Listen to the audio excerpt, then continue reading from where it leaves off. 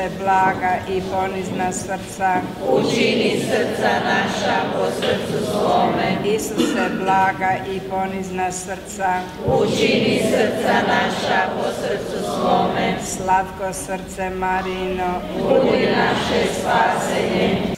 Dragi hodočasnici, dobro nam došli u ovo naše jedino euharistijsko proštenište u domovini Hrvatskoj.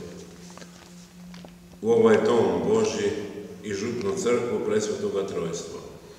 Hodočasnice ovamo dolaze već šesto godina, a razlog njihova dolaska jest jedan znak kojeg je gospodin dao u Euharistiji za vrijeme kada je svećenik složio svetu misu tamo davne 1411. godine. I svećenik je posumljao, da li je sada istina, da se nakon pretvorbene riječi u kaležu, nakon pretvorbe nalaze kruh i vino ili tijelo i krv Kristova, kako nas vjera uči.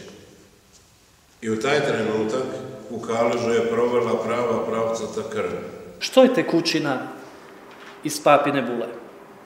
Mislim da bez ikakva prijepora smijemo reći da je to ostatak jednoga misnog slavlja. Ne relikvija Euharistije, nego obrednoga slavlja u mjeri subjektivne vjere, odnosno nevjere. Predaja govori o okolnostima sumnje. To je relikvija misnoga slavlja u kojemu je bila očitovana sumnja jednoga prezbitera. I sumnja je ostavila trag, neobičan, čudesan, izvanredan, ali drugčiji od ploda vjere. Smijemo li to tvrditi? Čini se da smijemo, jer je plod vjere pričest, sudjelovanje, sudioništvo u božanskome životu. Ovdje je pojavak obličja krvi, spriječavanje obredne euharistijske pričesti, upozorenje ili još dramatičnije, neulaženje u otajstvo Euharistije.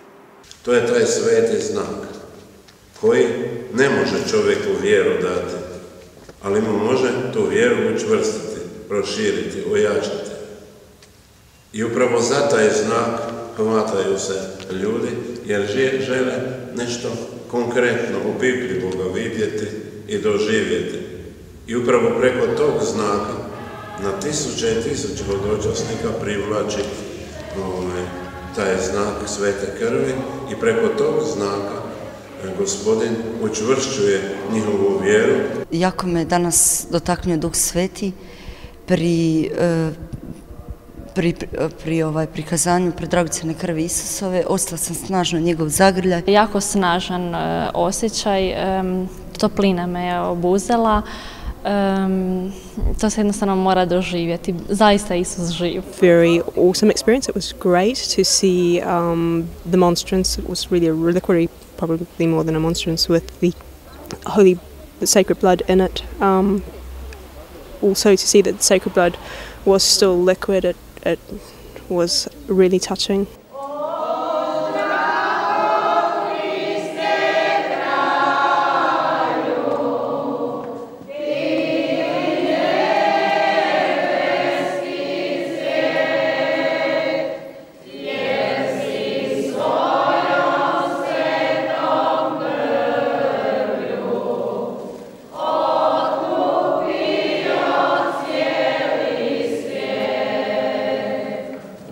Krenulo je prije 13 godina, posvojili smo blizance, Dubravka i Marija, živjeli sretno i zadovoljno.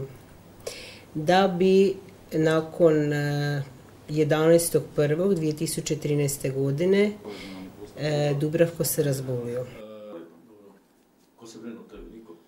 Dubravko se jako stanje pogoršalo u nedjelju i ja sam išla u trgovinu prije nego sam išla k njemu u bolnicu, ja umjesto da udem doma otišla sam u e, crkvu presvete krvi, zavapila sam presveta krvi, poškrope nas, ozdrave nas, pomogni Dubravko u njegovim trenucima.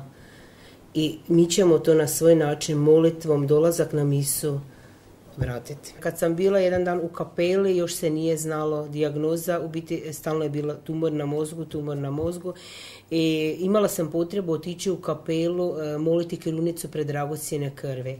E, dok sam došla do četvrtog otajstva, zvonio mi je mobitel. Zove suprug iz sobe, neka se vratim, e, da ima doktor dobre vijesti. Molila sam da završim, da ću se vratiti. Kad sam došla u sobu, Dubravko i suprug su se smijale i rekli su da je doktor došao sa dijagnozom da nije tumor, nego je u biti splet žilica koje su pucale u pubertetu, u biti moždani udar. Čekali su dok se povuče krvarenje. I prije operacije, on je mene nabrojio sve moguće posljedice, jer to je jako teška operacija. Ja sam to sve morao potpisati. Bez operacije rekao to ne ide. To se mora odstraniti. Rekao je, vaše je samo budite strpljivi, da molite, sve je u Božim rukama. I nakon njegove operacije, nakon iz bolnice, zahvalnica, koja je bila služena za Dubravka, bila je zahvala da je sve dobro prošlo, da smo zahvalili Bogu. Jer mi, smo, mi možemo biti istinski svjedoci, istinske vjere i molitve, jer smo mi sami vidjeli snagu i moć molitve. A ne samo da su nam molitve oslišane, nego mi smo dobili Boži dar. Nakon 17 godina žena je sad trudna već 4,5 mjeseca. Jeste li to očekivali? Ni u snu. Jednostavno nije za povjerovati. Kolika je jaka moć molitve. Nakon 17 godina, već dok čovjek zbilja i zadovoljni smo s djecom kad smo ih posvojili, uopće više nismo niti mislili da ipak Bog vraća ljubav s ljubavlju. Relikvija koju posjedujemo u Ludbregu je znak. Spomen znak ljudskosti u koju zadire Bog po Euharistiji. Pred tom relikvijom čovjek postaje ponizniji i sretniji. Ponizniji jer je bliži istini da, da je Bog darivatelj života. Radosniji jer Bog nikoga i ništa ne ispušta iz svoje ljubavi.